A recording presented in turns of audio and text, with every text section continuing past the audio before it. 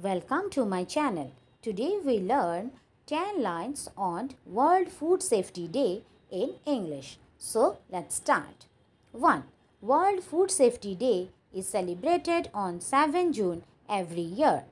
2. In 2018, the United Nations General Assembly declared June 7 as the World Food Safety Day. 3. World Food Safety Day was first celebrated in the year 2019. 4. World Food Safety Day aims to draw attention and inspire action to help prevent, detect, and manage foodborne risks, contributing to food security, human health, economic prosperity, agriculture, market access, tourism, and sustainable development. 5. Food safety is a shared responsibility between governments, producers, and consumers. 6.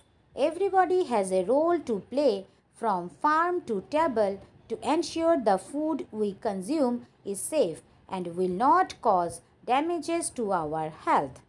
7. Healthy food not only makes our life disease free but also increases longevity of our life.